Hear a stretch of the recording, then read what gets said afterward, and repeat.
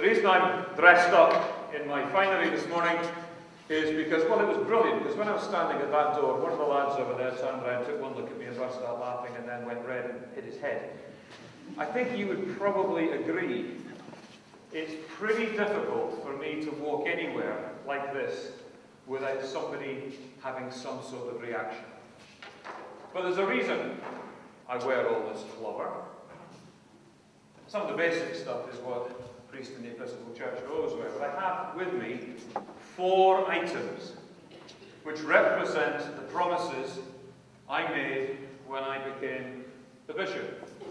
Great. Outward signs of promises. Makes my life really easy. Nobody ever questions it. Everyone sees me and goes, well, he's obviously something. But let me also point out to you that wearing these outward signs of my promises is also really quite difficult.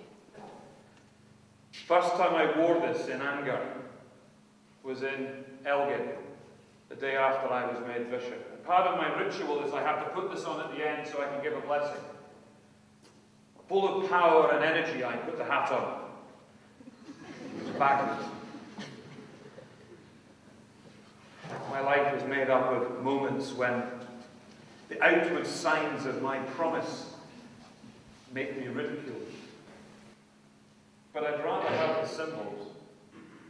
Because keeping promises when people look at me and say, you should turn the other cheek.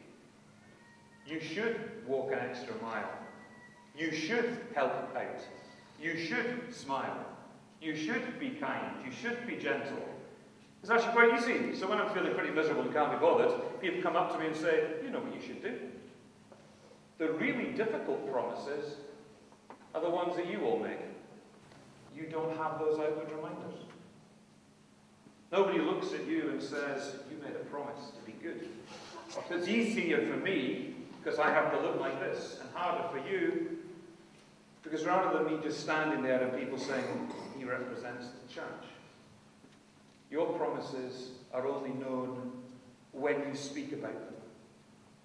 Your promises are only known when you live them out. Your promises only are revealed when you do what you've promised to do. So those who come here for confirmation each year, they make promises which they can only live out by showing people what they do. If you make a promise, then hold it deep in here. But find the opportunities to allow other people to see in you, as they so ridiculously can in me, what it is that's important to you. And all I would say to you, I've said it here so many times, is learn to love. To love one another, to love your fellowship, to love your community, if you have a God, to love your God. Above all, to make sure that you love discipline, smile, and hug, and with care. I don't know if you've met me through an assembly, but my name's Christopher, and I'm the Scottish Episcopalian priest for Lossiemouth, Burghead, Duffus and Elgin. So what you're doing is actually confirming what your godparents and parents have done on your behalf, or you're actually saying, yes, this is what I want to do. This is confirmation. We need to be in relationship with God. Now, the way that we usually do that is by saying our prayers. That's one of the things that, that, we, that we do in the way that God meets us. And you at Gordonstoun have a tradition, don't you, where candles are lit and there's silence, isn't there? And it's in that silence that you meet God. So I'd like to give you all a candle, if I may. So there's yours. There's yours. Now, these, you'll be pleased to know, are 24-hour candles. And what I would like you to do, as part of your preparation for preparing for your confirmation on the Feast of Candlemas, which is the 2nd of February, which isn't actually that far away, is whenever you say your prayers, at the beginning or end of the day, or whenever you do, just like that candle.